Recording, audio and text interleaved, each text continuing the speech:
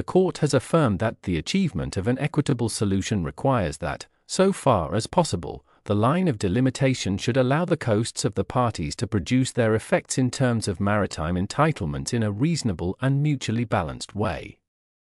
This is an important standard to be used in making an adjustment to the provisional equidistance line. The court, however, bears in mind the following principles there is no question of refashioning geography or compensating for the inequalities of nature. Equity does not necessarily imply equality, and there can be no question of distributive justice. In other words, an adjustment should not produce an unreasonable result for Somalia.